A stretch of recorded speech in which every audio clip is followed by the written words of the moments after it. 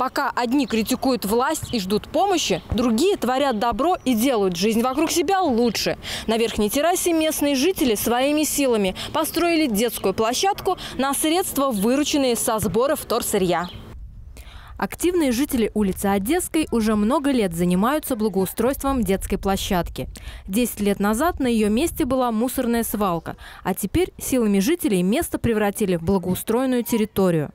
Активисты установили на голом поле футбольные ворота с сеткой, баскетбольный щит, перекладины, турники и горки. Я сам поставил пластиковые контейнеры, на которых мы собирали и собираем до сих пор макулатуру, и пластиковые бутылки. Ну а на вырученные деньги мы уже непосредственно закупаем весь инвентарь спортивный, э, то есть сетки, там всякого рода, кольца, так далее, так далее. Вот. Если бы, допустим, не наши активные жители, у меня бы, естественно, бы этого ничего не получилось. Поэтому я говорю им большое спасибо. Детская спортивная площадка стала местом объединения и встреч соседей. Вот уже многие годы здесь силами жителей летом и зимой проводятся массовые мероприятия, спортивные соревнования, утренняя зарядка и праздники.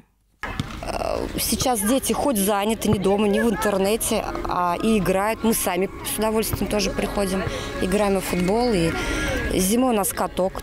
Узнав об инициативе местных жителей, неравнодушные ульяновские бизнесмены решили оказать небольшую поддержку и выделили средства на покраску турников.